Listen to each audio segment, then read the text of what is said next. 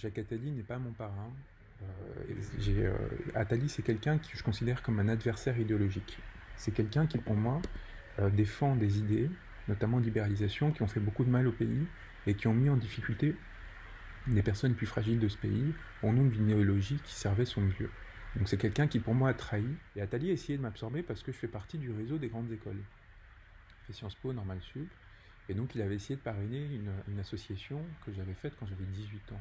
Et c'est de là que vient la rumeur. bonjour, alors Jeune République, c'est euh, une association qui a pour but euh, d'éditer une revue qui euh, réfléchit sur les politiques publiques et, propose et fasse des propositions en fait, qui viennent enrichir le débat d'idées. Elle est donc parrainée par, par sept, personnalités, dont Bertrand Badi qui nous a donné son parrainage aujourd'hui, et aussi Dominique de Villepin, Jacques Attali, Alain Lipiette, Stanley Hoffman.